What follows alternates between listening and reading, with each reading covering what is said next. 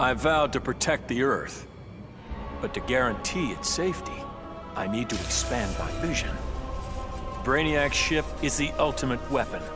But in my hands, it can be so much more. Millions of civilizations await rebirth in Brainiac's collection. I'll find the bravest and strongest warriors among them, and I'll start a new regime. No, a new legion. The Legion of Superheroes.